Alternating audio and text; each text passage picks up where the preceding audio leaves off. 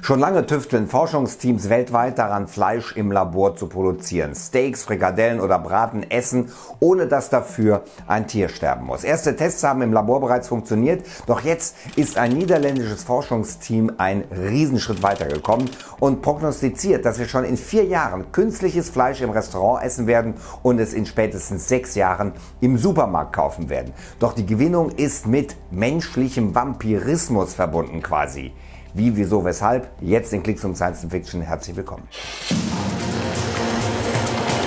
Es ist wirklich frappierend. Vor ein paar Wochen war ich in einem veganen Restaurant in Paris und habe Fleisch gegessen. Das schmeckte nicht nur wie Schweinemedaillons, auch die Textur und alles fühlte sich so an und schmeckte wie Schweinefleisch. Es war absolut köstlich und es war kein tierisches Produkt enthalten.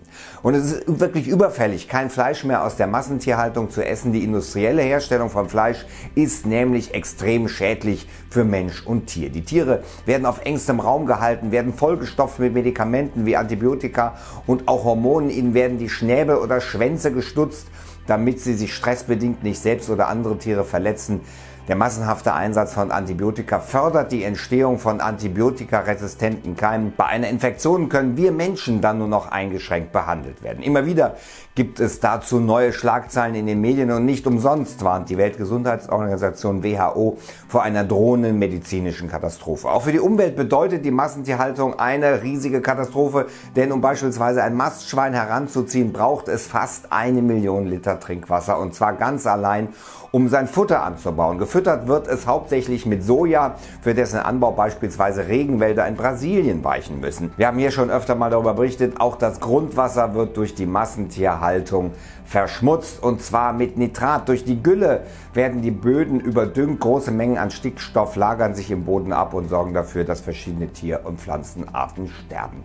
Und zuletzt wird auch der Klimawandel durch die Massentierhaltung gefördert, denn in den Mägen von Kühen und Rindern entsteht Methan und das ist als Klimagas etwa 25 mal klimaschädlicher als CO2. Die Forschung auf der Suche nach wirklich künstlichem Fleisch ist jetzt ein ganzes Stück weitergekommen. Zitat, wir wollen das für die Fleischindustrie sein, was das Auto für die Pferdekutsche war. Das sagt der Chef des kalifornischen Start-up-Unternehmens Memphis Meats. Seiner Firma ist vor einiger Zeit tatsächlich gelungen, was viele Forschungsteams weltweit vor ihm probiert hatten, Fleisch künstlich herzustellen. Herausforderung, im Moment kostet ein Kilogramm künstliches Fleisch 32.000 Euro. Im Vergleich dazu, ein Kilo herkömmliches Rindfleisch gibt es schon für unter 10 Euro, was auch keine gute Entwicklung ist. Einer der Investoren für das Projekt hierbei ist übrigens Bill Gates.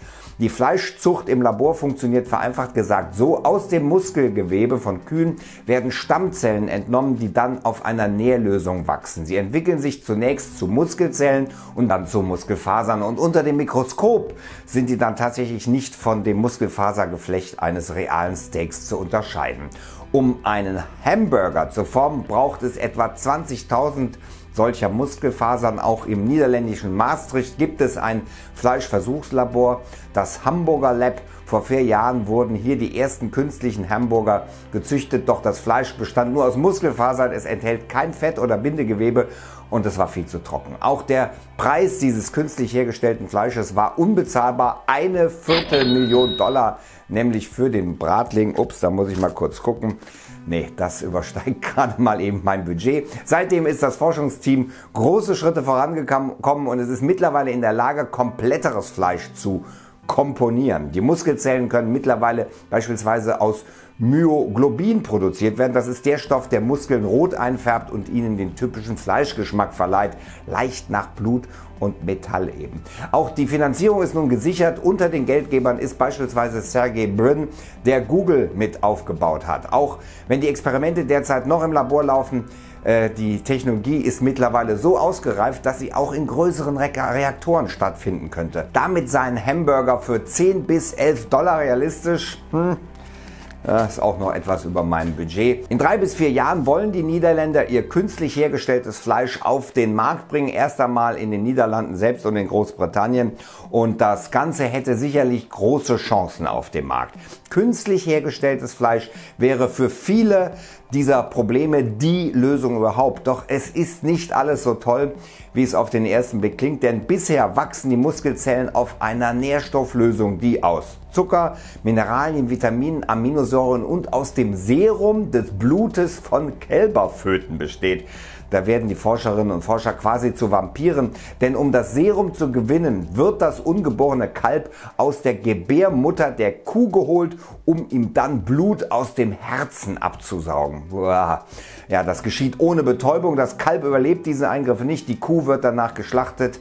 Ja, zum anderen beinhaltet das Ganze auch ein gewisses Risiko, denn das Serum könnte Krankheiten übertragen und so sind Forschungsteams weltweit auf der Suche nach Alternativen. Eine Basis könnte beispielsweise könnten Pflanzen wie Algenextrakt und Bakterien sein. Dennoch wird Laborfleisch immer zu einem Teil aus tierischen Rohstoffen bestehen, aus den Stammzellen. Doch die Forscherinnen und Forscher hoffen, dass sich diese unter den richtigen Bedingungen immer weiter vermehren und so kontinuierlich neues Muskelfleisch produzieren. Hochrechnungen von niederländischen Forscherinnen und Forschern zufolge könnten dann 150 Rinder die ganze Weltbevölkerung ernähren.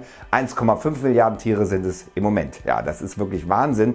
Doch damit wir tatsächlich in naher Zukunft künstliches Fleisch im Restaurant und in Supermärkten kaufen können, müsste noch einiges passieren. Zum einen müsste die Infrastruktur noch ausgebaut werden, um die Produktion überhaupt erst einmal effizient zu machen. Die Zucht müsste von den kleinen Petrischalen in größere Bioreaktoren verlagert werden.